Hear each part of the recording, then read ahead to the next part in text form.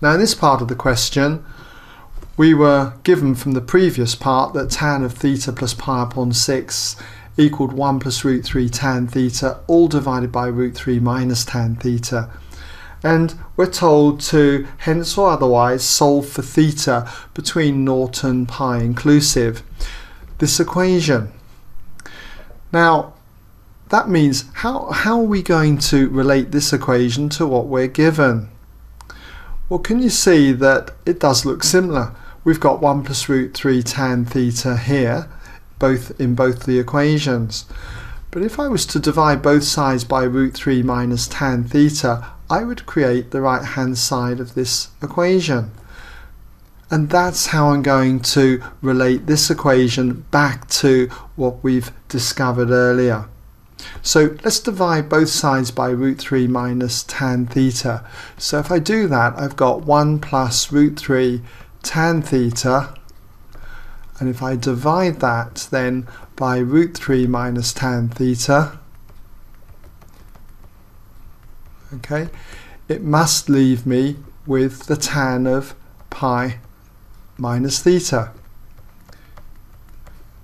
But we can see that from up here that this was the equivalent of the tan of theta plus pi upon 6. So I can say that therefore the tan of theta plus pi upon 6 must now be equal to the tan of pi minus theta.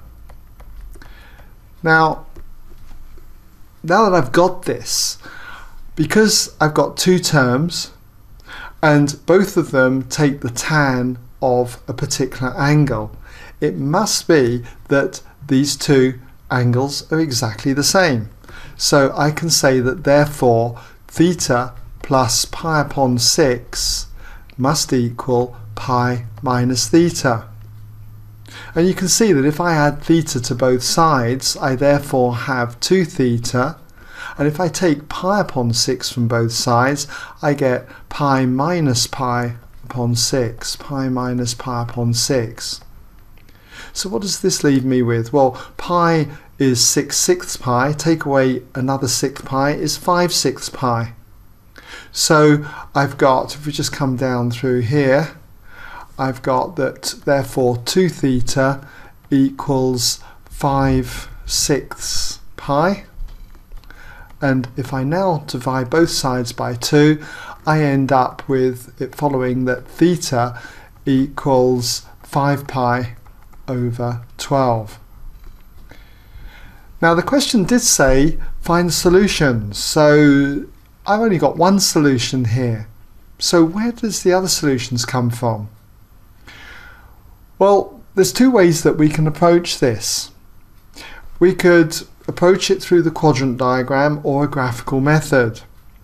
Now I always prefer the quadrant diagram method but I will draw a graph for you and go through the graphical method for this particular question anyway.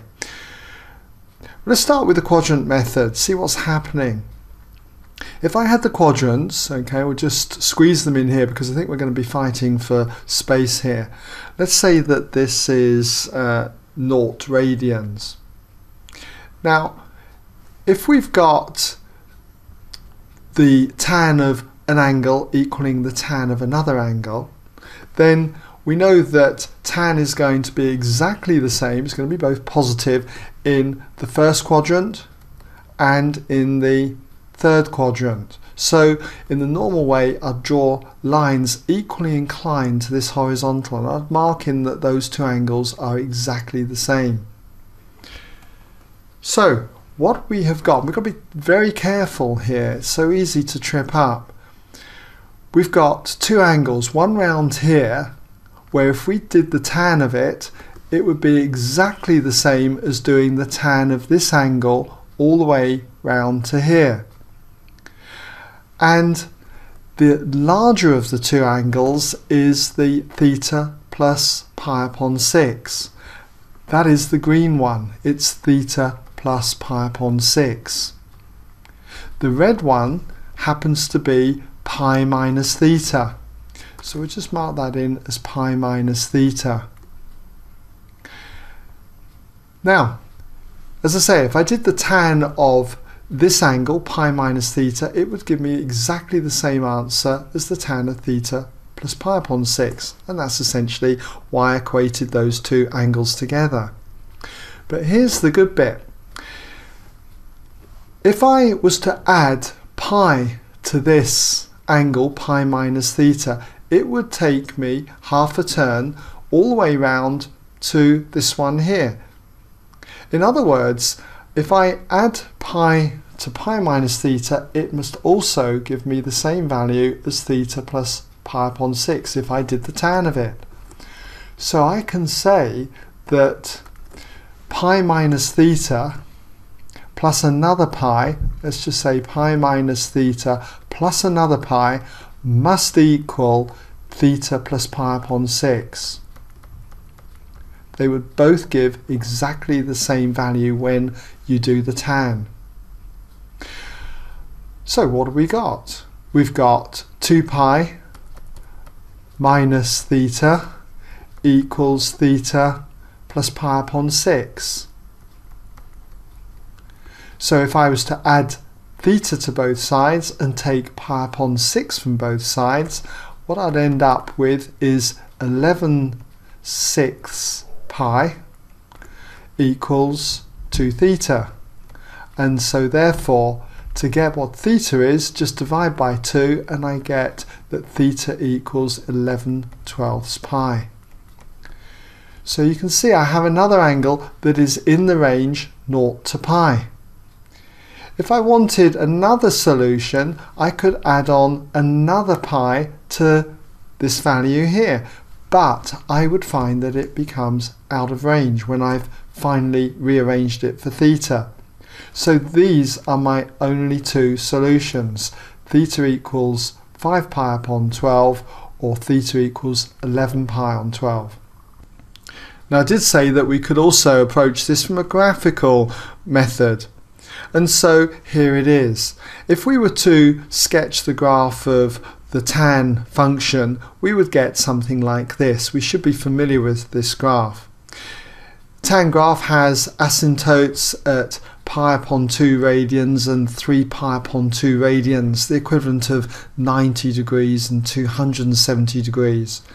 And it crosses the axis here at naught and at pi radians, the equivalent of 0 degrees and 180 degrees.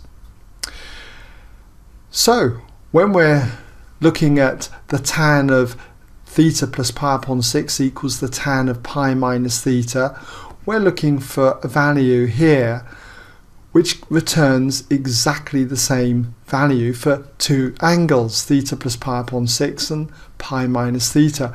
If I was to draw a line across here, okay, then those places where you get the same value, if we project down onto the horizontal here, are these two angles here.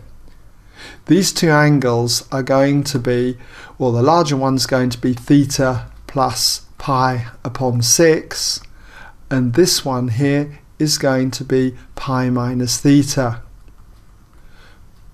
So they're going to be exactly the same. That would lead us to this result that we had earlier, theta equals 5 pi upon 12. But to appreciate this idea, can you see that if I was to add pi radians to this particular value because the graph repeats itself, its period is pi radians. If I was to add pi radians to pi minus theta, it would take me to this value here. Both would give us exactly the same value when tanned. So we could say, well, okay, let's add another pi to this. So we've got pi minus theta plus another pi gives me the same tan value as I would get for theta plus pi upon 6 and that's what I did here.